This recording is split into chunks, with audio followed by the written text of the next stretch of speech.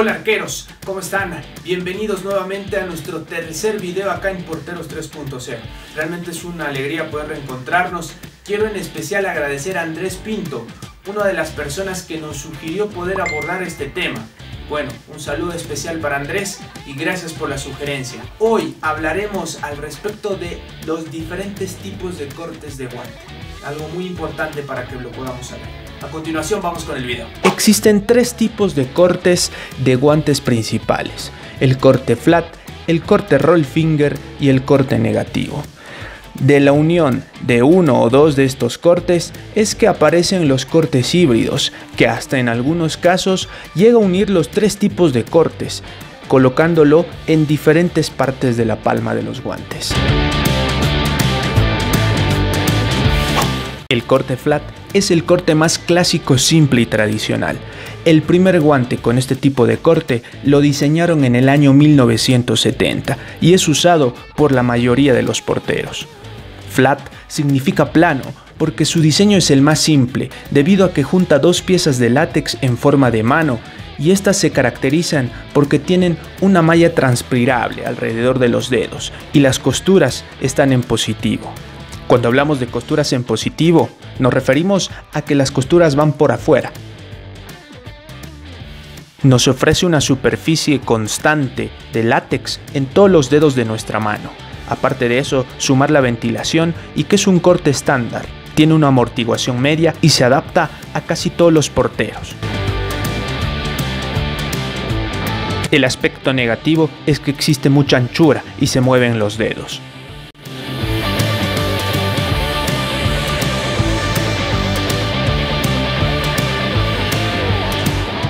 Fue el segundo tipo de corte en salir por los años 80. Roll finger, que significa dedo envuelto o dedo redondeado, une dos piezas de látex, una parte forma la palma que forman el índice y el meñique y la segunda parte del látex forma el dedo anular y el central. El látex se extiende por el contorno de los dedos ampliando la superficie que entra en contacto con el balón.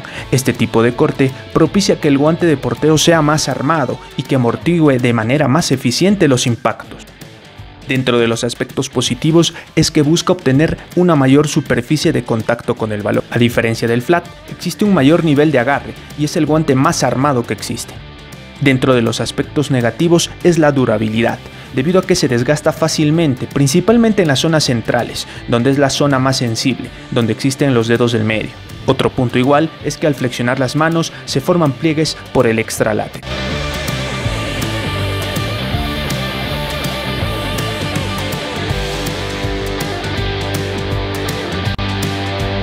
es el corte más técnico. Este corte oculta las costuras hacia adentro del dedo, reduciendo la superficie de contacto pero aumentando la sensibilidad de nuestra mano con la palma. Cuando hablamos de técnico, nos referimos a que se necesita un gesto técnico eficiente para que al momento de agarrar la pelota no se escape por la tela entre los dedos que en ciertos modelos existe. Entre los dedos puede que exista látex o tela. En algunos casos te sugerimos buscar un negativo con látex entre los dedos. Aspectos positivos, mayor sensación de contacto, ligereza, comodidad en las manos. Aspectos negativos, la amortiguación, la durabilidad debido a que se desgasta principalmente en la punta de los dedos y el armado.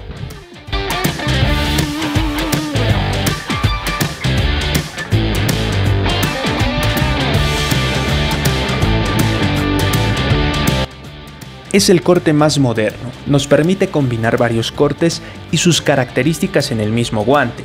Los más destacados son el roll flat y el roll negative. El corte roll flat combina el corte roll finger y el flat. El corte roll finger se ve en los dedos índice y meñique, mientras que el corte flat se ve en los dedos del medio. Con este corte híbrido conseguimos más comodidad y sensación de libertad en el guante. Este guante ha ganado mucha popularidad en el mercado, ya que cumple dos demandas principales en los arqueros, como son la comodidad y el agarre. Como vemos, existen diferentes tipos de roll flat, algunos que terminan con los dedos medio cuadrados y otros que terminan con los dedos medio redondeados, en este caso como lo podemos apreciar en el modelo. Como vemos en la comparación, existen dos tipos de roll flat, un roll flat que en este caso en el dedo anular y del medio solamente sobresale el corte flat en la parte inicial de los dedos y en las puntas se nota claramente el corte roll finger. Pero en el modelo blanco observamos que se reduce el espacio inicial del corte flat y bueno, mantiene el corte roll finger en la punta de los dedos. El corte roll negative combina las propiedades del corte roll finger en los dedos índice y meñique, de esta manera reflejando seguridad en el agarre y látex por todo el contorno del dedo, y las del corte negative en los dedos centrales del guante, de esta manera dando mayor ajuste y sensibilidad con el balón. Todo esto combinado y sin costuras aportan ese óptimo ajuste o sensación de segunda piel. Con este corte, la superficie de contacto que le ofrecemos al balón es mucho mayor y conseguimos un ajuste estupendo. Este corte mezcla la tensión del corte negativo y la del roll finger, lo cual entrega una buena amortiguación y una gran sensación de agarre.